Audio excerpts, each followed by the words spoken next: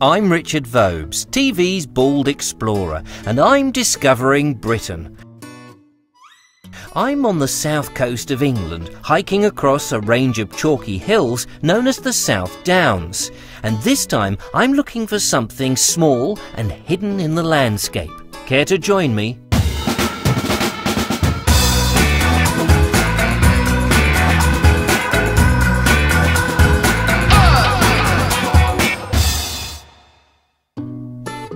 Sussex and the east side of Hampshire are blessed with an area of outstanding beauty.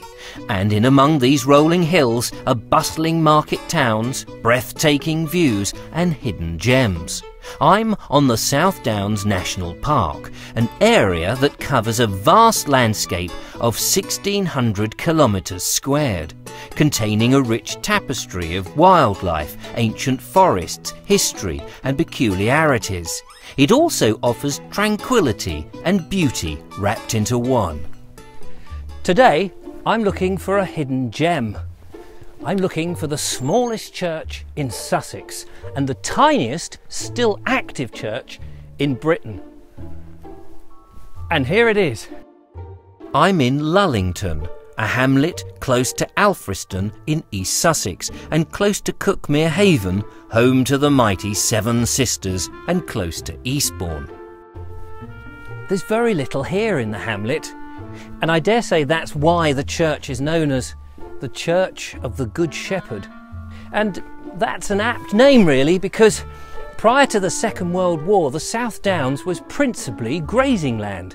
Oh, there's still sheep here, but nothing like the quantity there used to be. But just look at it.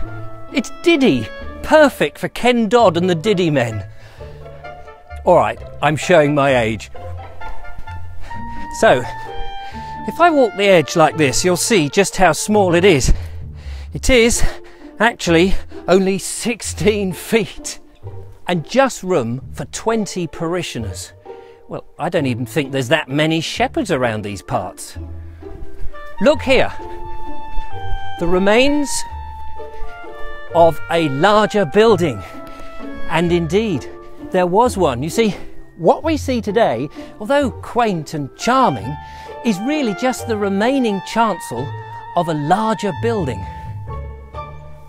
The old nave is said to have been destroyed around the time of the English Civil War. Tradition says it was on the orders of Oliver Cromwell. Well, he was a Puritan, and I imagine a Roman Catholic religious house like this, with its wall paintings, flamboyant statues, and icons, would well have gone against his sensibilities. Originally, it was built in the 13th century with the nave, and that's all here for you to explore, but let's go in.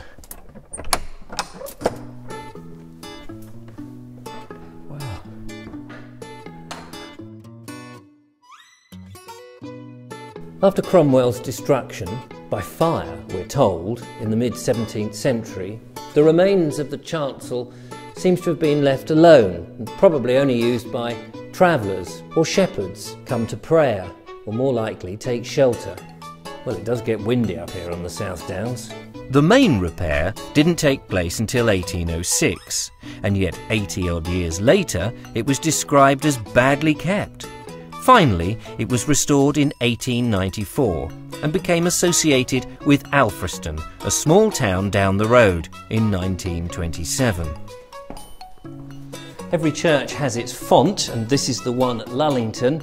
It's a remarkably old thing, and it's quite lucky to be here because it was found in a neighbour's garden, partly broken. I wonder how many babies were baptised in here. These days, the Church of the Good Shepherd is mostly used for weddings. And I think you'll agree, it does make a, a beautiful backdrop. Of course, all that's missing is a tea urn and an honesty box.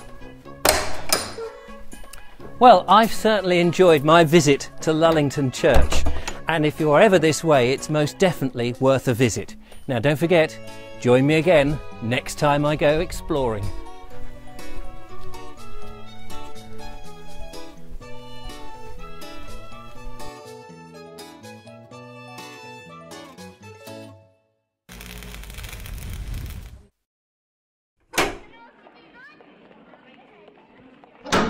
Infoprovision.